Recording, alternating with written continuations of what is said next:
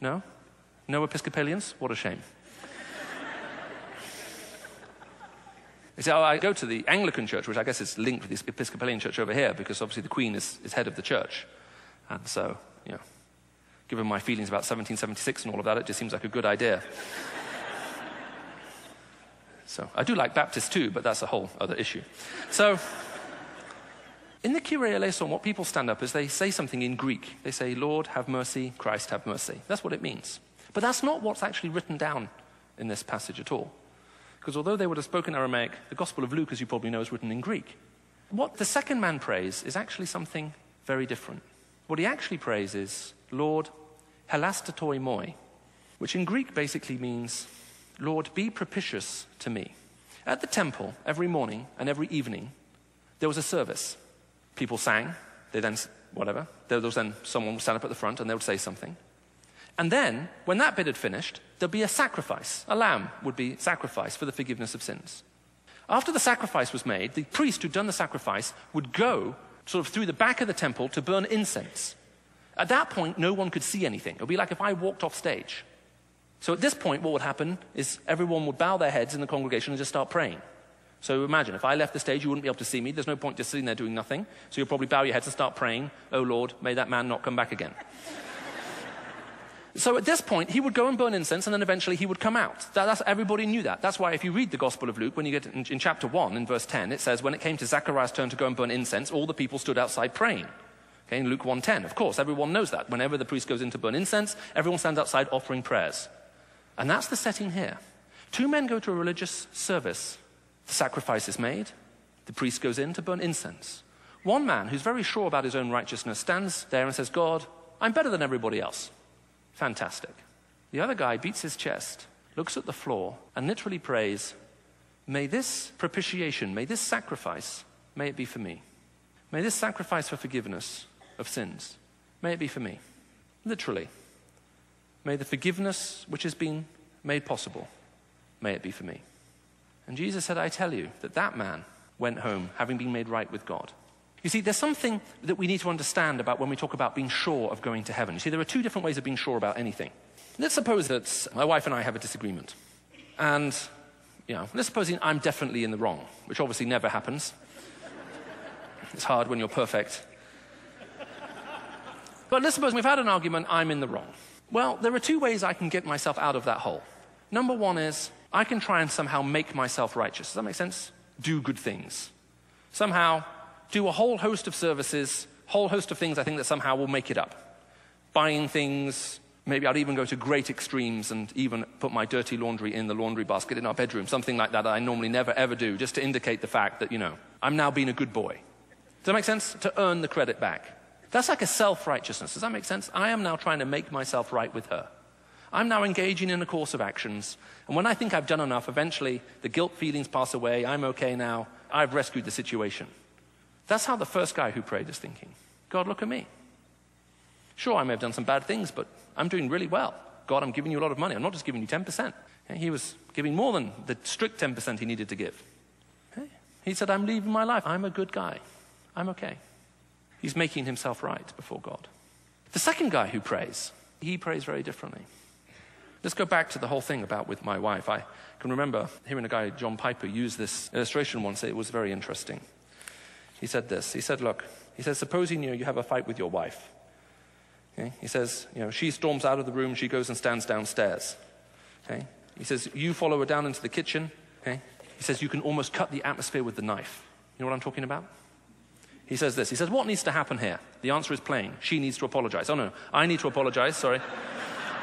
And ask for forgiveness. That would be the right thing to do. But here's the analogy. Why do I want her forgiveness? so that she'll make my favorite breakfast. So my guilt feelings will go away. So there'll be good sex tonight. So the kids won't see us fighting. It may well be that every one of these desires comes true, but they would all be defective motives for wanting forgiveness. What's missing is this I want to be forgiven, so I'll have the sweet fellowship of my wife back. She is the reason I want to be forgiven. I want the relationship restored.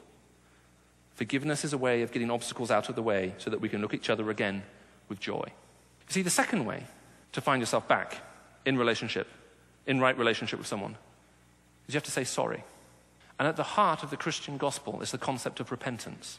That the only way to become a Christian is you can't be born one, you can't be raised one, you can't just simply achieve it by going to church enough and having your card stamped. You can't buy it, you can't earn it. But you can come before God and say, sorry.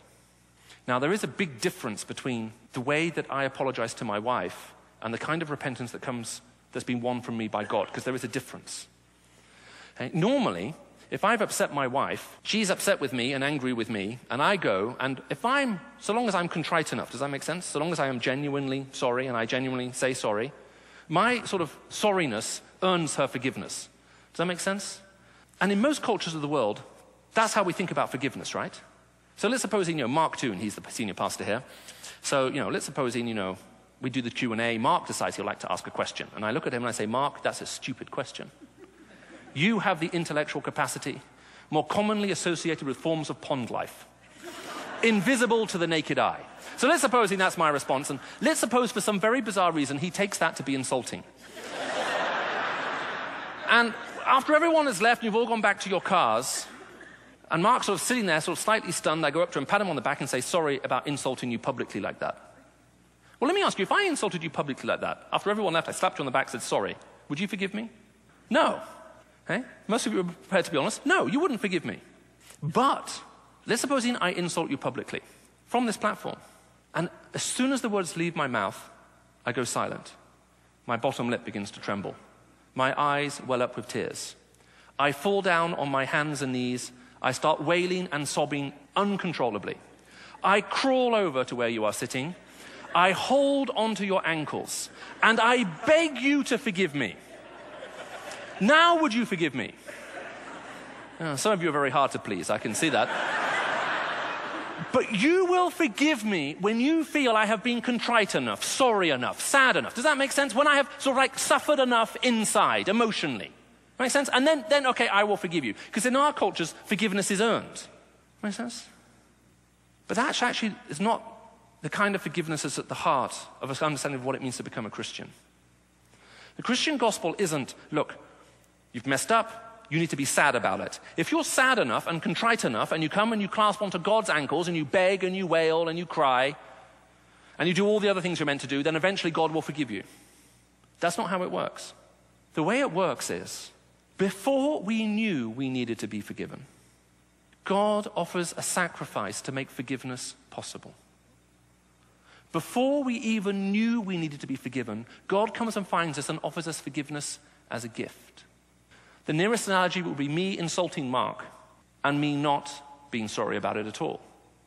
And him coming to me and making it clear through the most gracious and kind means possible that he was happy to forgive me. And he offers me forgiveness as a gift. And the way you accept that kind of offer of forgiveness is through repentance. You say sorry. Sorry doesn't become the means by which you earn forgiveness. Sorry simply now becomes the means by which you receive forgiveness. And it is inherently humbling.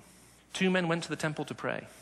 One sees the sacrifice that makes the offer of forgiveness possible, stands in front of it and boasts about how wonderful he is before God. The other one casts his eyes down, beats his chest, and cries and says, May this be for me. I need this. Jesus said he told this parable to people who trusted in themselves and in their own righteousness and looked down on everybody else. True Christian conversion is inherently humbling. It's not incidentally humbling. Humility isn't something you do on the side. There is something inherently humbling about genuinely coming and receiving that kind of forgiveness.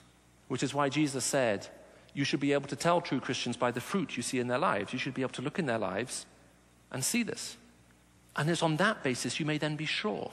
Look, let's suppose he, I'm sorry I keep picking on Mark, but he's probably the most secure person in this building, uh, but secure person in this building because it's his church. He's the pastor.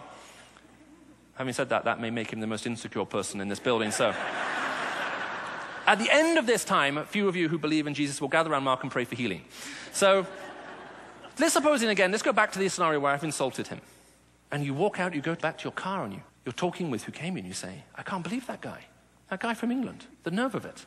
First of all, he thinks that Americans should end their revolution and rejoin the British Empire. and then he starts insulting our church leaders. I mean, who does he think he is?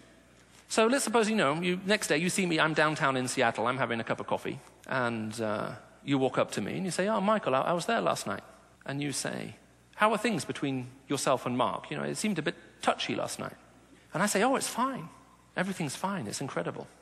Well, that would be very arrogant and presumptuous, unless it was the case that Mark came up to me at the end and made it very, very clear that he was happy to forgive me. And as I talked with him after all of you had left, I did repent and I did receive that forgiveness. And if you've received someone's forgiveness, you know it.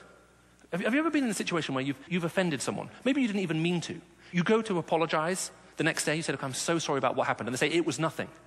And it's clearly something. Have you ever experienced that? I mean, it's very annoying, isn't it? Because you know you're in the wrong. You know you shouldn't have done it. You're trying to say, look, I shouldn't have done this. I shouldn't have said it. I shouldn't have done it. I was wrong. And they're going, it's nothing. Don't worry about it. But actually, it very clearly is something very big. Similarly, you may have had the experience where you know you have to apologize. You go to someone, you say, I'm sorry. And they say, I forgive you. And the next time you see them, it's abundantly clear, isn't it? You're not forgiven. You only need about a second in the room with them, don't you? You walk in within a second.